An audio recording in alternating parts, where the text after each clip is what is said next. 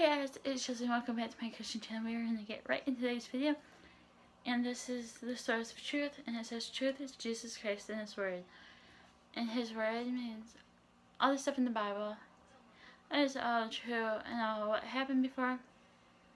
I mean, and that was all the source of truth in the book Lies Young Women. Believe.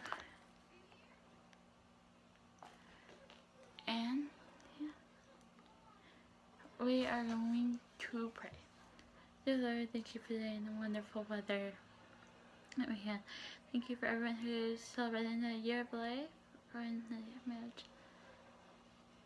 And have those who recover from Hurricane Harvey and Hurricane Irma recover from all that. And have those who are having trouble finding you, Lord, find somebody. Somebody to talk to. In Jesus' name I pray, amen. Thank you guys for watching this video. Don't forget to give it a big thumbs up. Comment down below if you have any questions for me or if you want me to go further detail of any of the videos I've done before. And if you're one who is struggling to find help, don't be afraid to comment down below. And I'd love to talk to you guys through comments. And don't forget to subscribe, so hit the red button that's down below. Don't forget to hit the bell right next to it so you can be notified every time I post. Thank you. Love you guys. Hope you guys have a blessed day. Bye.